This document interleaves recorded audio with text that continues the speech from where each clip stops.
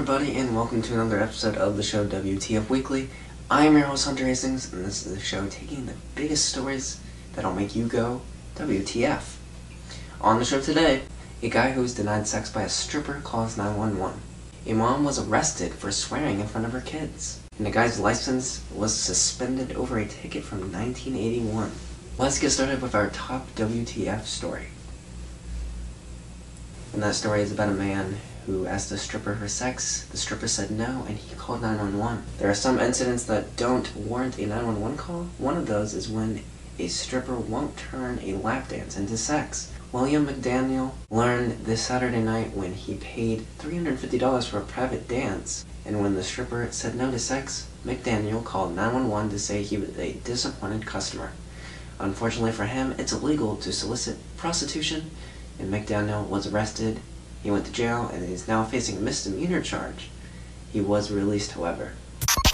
And it's pretty hard to believe, but a mom was arrested for swearing in front of her kids. Danielle Wolf was at a grocery store with her husband and kids, and when her husband kept squishing the bread in their cart by putting a frozen pizza on top of it, Wolf expressed her displeasure of the situation.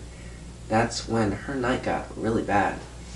A fellow shopper approached her and accused her of using the F word in front of her kids, but somehow the police were called and Wolf ended up getting arrested for the incident.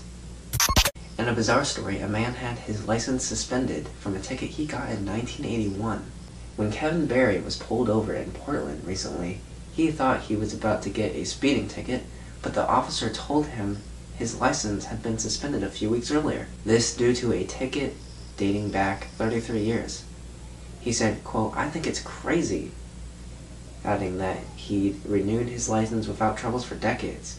It turns out that in 1981, Barry should have indeed gotten a ticket, but due to a typo, it was filed under the name Birdie.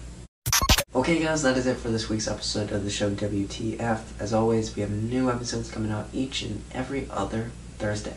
You can get more WTF Weeklies at our website, that is thefeedent.yolasite.com slash WTF Weekly. And as always, make sure you subscribe to our YouTube channel. That way you get the latest videos from the Feed Entertainment. You can do that by clicking the subscribe button down below. You can also check out our website by clicking that box right below here. And be sure to check out my other two channels. My vlogging channel, where I post daily vlogs, and my gaming channel, which launched earlier this week. Check out videos on there. And you can always check out us on social media. We're on Facebook, Twitter, and Instagram. Links to those are all down in the description below. From the Feed Entertainment, I am Hunter, and I will talk to you guys again later. Goodbye.